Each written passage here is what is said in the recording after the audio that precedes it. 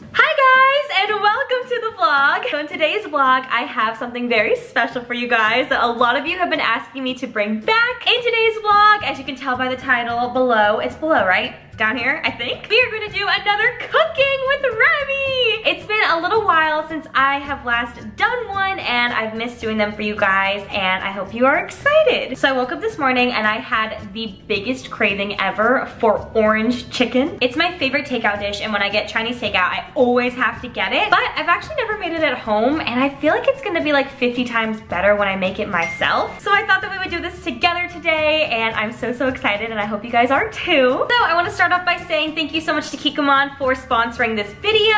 As we all know, I am Asian here. And I've done a few Asian inspired cooking with Remi's for you guys, and by far those are the most popular. Views wise, you guys seem to love it, and then also when I have people come up to me in person, they're like, oh, I tried making this because of you, and I've tried this recipe because of you. And like 99% of the time, it's one of the Asian recipes that I've done with you guys, which I love so, so much because Asian food is my favorite food in the world, as we all know. And I will say, I know that sometimes cooking Asian inspired dishes at home can seem a little daunting, a little intimidating, but I promise you I have some things that are gonna help you out. First of all, using Kikkoman products makes it so, so, so, so much easier. If you guys watch the vlogs regularly, you know that I use Kikkoman products on an everyday basis. I've grown up using their products. My mom, honestly, in our kitchen growing up would have like the giant jugs with like the handle on the side for when she would cook all of our meals. So for me, doing this video was like a no-brainer. It's something that I use on an everyday basis, and I thought that I would share with you guys how to make my favorite takeout dish. I think this is gonna be so much fun to make together and just see how this works out. I say grab a friend, grab your mom, grab your dad, grab somebody, and you guys can go in the kitchen, make this dish together, and instead of ordering takeout,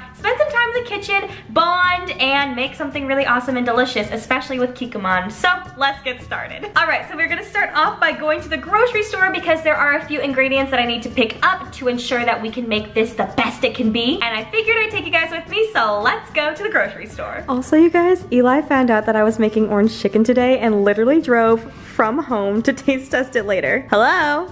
Are you ready? Let's go. it's orange chicken time. Hi guys. Okay, we are currently walking to the grocery store. On a scale of 1 to 10, how excited are you for this chicken? 15. A 15. uh, worth driving from home to LA just for this chicken?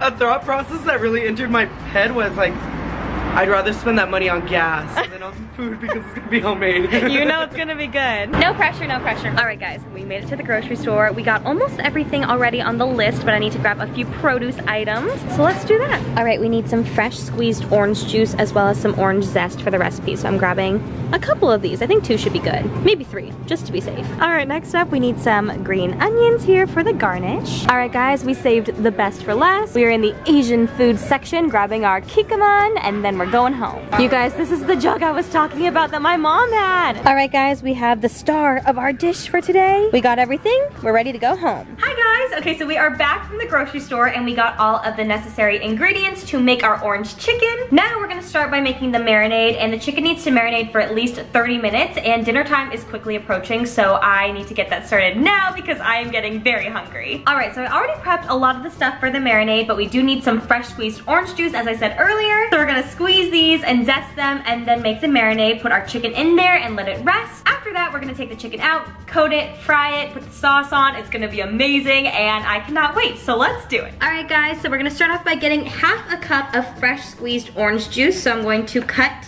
my oranges down the middle. Oh, they look so good. And life hack, you can kind of roll your citrus like this a little bit just to get extra juice out of them. Oh my gosh, it smells amazing already. I feel like I'm on Soarin' over California. And then I have this handy dandy little juice contraption, but you can totally just like squeeze them like you normally would. And I'm just gonna get all of my juice out. Oh my gosh, it smells so good in here already. Get it all out. Mmm, mm, mm. All right, we have our fresh squeezed orange juice here. And then we're also gonna chop up some garlic. I love garlic, so I'm doing three cloves of garlic here. To peel it, you just smash it down like that and then peel off the shell or the skin. I don't know what they call it.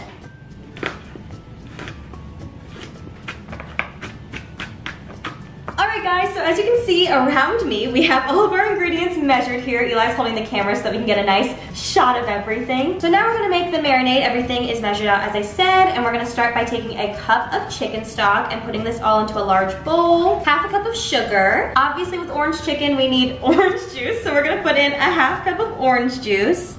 Oh yeah, get that angle. Okay, orange juice. We have a third cup of white distilled vinegar. Gonna throw that in. And then in this little bowl, we have our chopped up garlic, along with a fourth teaspoon of ground ginger, and then a fourth teaspoon of white pepper. So I'm gonna throw that in here. I feel like I have my own cooking show right now. I'm also gonna throw in a little bit of orange zest, just to give it the extra orange flavor. I really feel like I have my own cooking show right now. I like my orange chicken really orangey. So we're gonna put a good amount of that. Oh, it smells so good. Then to give it just a little bit of a kick, but not too much because you guys know I'm not super into like super spicy food. This is the Kikkoman Sriracha Hot Chili Sauce. So I'm gonna put a little bit of this in there. One teaspoon to be exact throw that in. Mmm, yeah. And last but not least for the marinade, the star of the show. This is the Kikkoman less sodium soy sauce and I'm gonna pour a fourth of a cup of this into my marinade.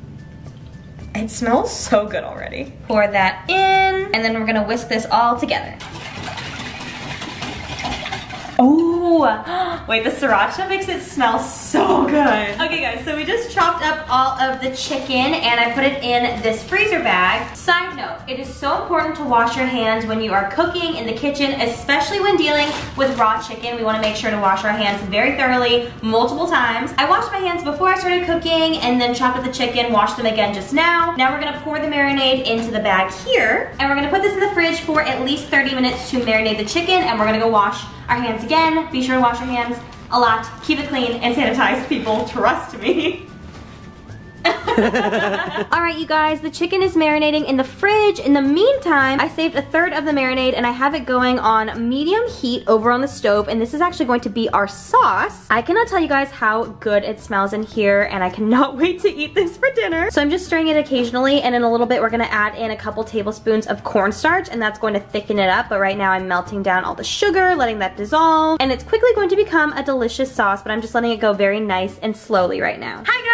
Okay, so the chicken has marinated in the fridge for 30 minutes and now we are ready to bread it and then fry it and it's going to be delicious. My sauce is still heating in the back and we're about to throw in the cornstarch to thicken all of that up. But first we're gonna start with the chicken. So again, clean hands. I have my chicken here and we're going to actually dip these chicken pieces into some cornstarch and I have a cup of cornstarch here in this bowl. And then I also have a baking sheet here lined with some aluminum foil. Since it is dinner time, it's very dark outside, so we set up some studio lights in here because this is a full RemLife production. I'm gonna start by taking my tongs here and I'm just gonna pick out a piece of our chicken from our bag, just like this. Then we're gonna transfer it over to the cornstarch and just press it in with the tongs here until our chicken is nice and coated. And those little like bits on the outside are gonna fry up and are gonna turn into like nice little crunchy bits. I promise it's gonna be amazing. Just like that, we got our piece and then we put it on the baking sheet like that. And I'm just gonna repeat this process over and over again until all of our pieces are fully coated. I also cut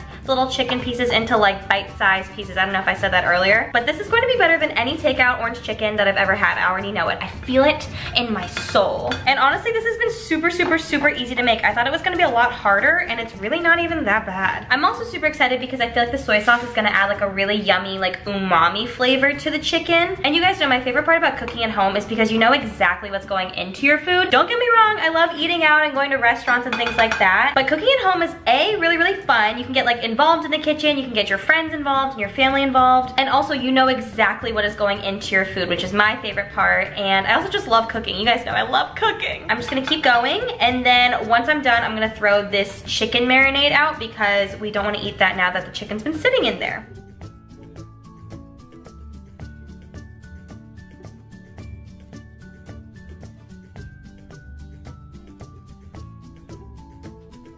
Guys, here is a sauce update. Now I'm going to add in two tablespoons of cornstarch and this is going to thicken it up. Here we go, sprinkle that in and then give it a good mix to get all the clumps out and that's gonna get really nice and thick like a traditional orange chicken sauce. So I'm mixing this up and I'm gonna let it come together. In the meantime, over here, over medium heat as well, I'm heating up some vegetable oil and that is what we're going to fry our chicken in. So I've got the chicken there, we're gonna place it into the oil and let them cook fully and then after we're gonna be sure to drain the chicken of all excess oil and then we are going to assemble. I am so excited for this. Oh my gosh, it's already thickening. Wow, it looks really good. We're gonna cook the chicken for about 10 to 12 minutes so that it's fully, fully cooked. Again, I could not stress enough. Wash your hands, cook your chicken fully. We do not want anybody getting sick. Our chicken is in the pot. We wanna make sure that we don't overcrowd it, otherwise it's gonna bring the oil temperature down and then your chicken's not gonna fully cook. So I have eight pieces in here right now. We're gonna wait until they get golden brown, flip them over and let them fully cook all the way through. You guys, our chicken is nice and golden brown. We are putting them onto some paper towels now to drain the oil as I said earlier. It kind of reminds me of chicken karaage, the Japanese chicken. It looks very similar to that like the breading does, but it looks good. All right guys, our chicken is almost done. I fried it all up, let it drain and put it in this bowl and it smells amazing. Now all that's left to do is just add our sauce, mix it up and then serve it over some rice and then to garnish I'm gonna add our green onions and some sesame seeds and I'm gonna do this fast because I am ready to eat. We got the chicken, we got our sauce